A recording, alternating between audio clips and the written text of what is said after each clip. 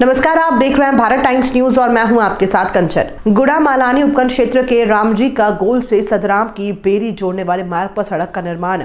आरजीएक्स द्वारा टेंडर निकाला जो कि टीएस प्राइवेट लिमिटेड द्वारा किया जा रहा है। ग्रामीणों का आरोप है कि ग्राम पंचायत डबोई खरड़ में जो सड़क के पास फेंसिंग का निर्माण हो रहा है, उसमें घटिया सामग्री का उपयोग किया जा रहा है।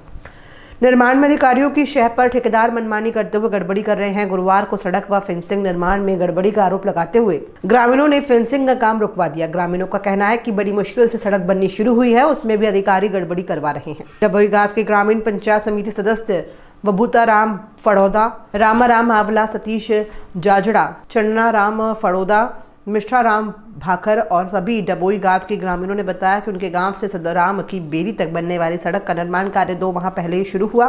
लेकिन ठेकेदार अब फेंसिंग का निर्माण ठीक से नहीं कर रहा है। सड़क बनाने में कई तरह की अनियमितताएँ बढ़ती जा रही हैं। उन्होंने ठेकेदार व अधिकारियों पर मिली भगत करते हुए गड़बड़ी करने का आरोप लगाया। उन्होंने बताया कि फेंसिंग बनाने में घटिया सामग्री का उपयोग किया जा रहा है। वहाँ पर डाली गई मिट्टी को भी व्यवस्थित नहीं किया गया है। सीधा तारकोल डालने से ग्रामीणों में आक्रोश बढ़ गया है। बाद में ठेकेदार ने काम बंद कर दिया। इस मामले में इंजीनियर विकास ने बताया कि वो फेंसिंग में घटिया सामग्री का उपयोग किया गया है। उसको तोड़कर दोबारा काम सही करवाएँगे। जितनी फेंसिंग में खामियाँ मिली हैं, उसको उखाड़ कर दोबारा बनवाया जाएगा। ग्रामीणों ने आरोप लगाया कि ठेकेदार ने अधिकारियों के साथ मिलकर इसके निर्माण में घटिया सामग्री उपयोग कर सरकारी पैसों का दुरुपयोग हो रहा है, लेकिन सरकार बजट तो बहुत दिया, फिर भी फेंसिंग व रोड का सही से निर्माण नहीं किया जा रहा है। अभी भी इस सड़क में कई खामियाँ छोड़ी जा रही हैं।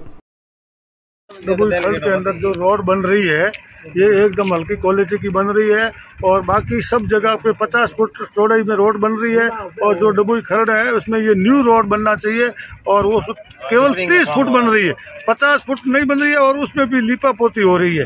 न्यू फ्रेश काम कुछ नहीं हो रहा है रिपेयरिंग के सिवाय कुछ हो रहा नहीं है और जो ठेकेदार पहले बोल रहे थे कि भाई ये डबुई खरड़ के अंदर जो भी अपनी आपकी रोड है वो रोड न्यू न्यू बनेगी और जो बाकी का पीछे वाला है ये पाँच साल गारंटी पीरियड में तीन तीन फिट का साइड में पटरी बनेगी।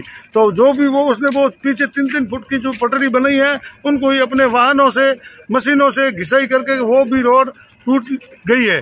और अगले आने वाले बारिश के सीज़न में उस रोड का आता पता भी नहीं चलेगा। ये ग्रामीणों की यही मांग है कि इसमें तुरंत प्रभाव से, सरकारी अधिकारियों से निरीक्षण करके और इस काम को सुधार किया जाए। ये सब ग्रामीण जनों की यही मांग और आपसे ये आशा और अपेक्षा है। तो आप ग्रामीण एकटे हुए किस काम के लिए एकटे हुए क्यों एकटे हुए आप यहाँ? ये राम जी गोड़ से सदराम की बेरी जो रोड का निर्माण कार्य है इस संबंध हुए हैं। कल यहाँ राह चलते व्यक्ति ने बताया था बिल्कुल घटिया निर्माण से काम हो रहा था। तो अभी ग्रामीणों के जन से हम भी आए और बीस पच्चीस लोग आए तो देखा तो यहाँ सीमेंट की जगह रेत यूज़ करके माल काम किया जा रहा है। और बिल्कुल ही घटिया काम किया जा रहा है और इसके जो जिम्मेदार है तीन चार ठेकेदार है बीच में चल रहा है और जिम्मेदार अधिकारी बिल्कुल नदरद है और कोई नहीं काम कर रहा है। और पिछले, पीछे जो रोड बनाई, तीन फुट का सिर्फ़ रोड बनवाया है। और ठेका इन्होंने किया कि बड़ी बड़ी घोषणा कर दी और तीन फुट रोड बनवाया है और जो बीच में रोड था, वो भी पूरा तोड़ दिया है। और अभी ये जो रोड बन रहा है, बाकी जगह जहाँ किसानों खेत था, वहाँ तो पूरी उन्होंने पचास फुट कवर कवर किया है। और जो राज की ज़मीन थी और जहाँ रेती लानी थी, वो न ला के बिल्कुल अपनी फॉर्मेलिटी कर रहे हैं। और इससे मेरा प्रशासन अनुरोध है कि जिम्मेदार आदमी इसको देकर खसी चाहिए काम किया जाए।